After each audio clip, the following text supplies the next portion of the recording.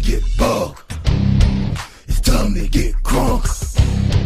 It's time to step it up, knuckle up, and blow the roof up. Right time for me to get bug. Right time for me to get crunk. Right time for me to step.